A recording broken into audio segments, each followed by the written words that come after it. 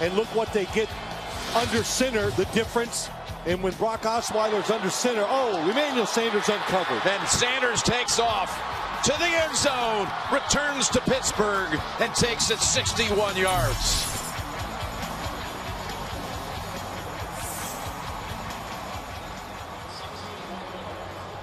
Caught him on a blitz.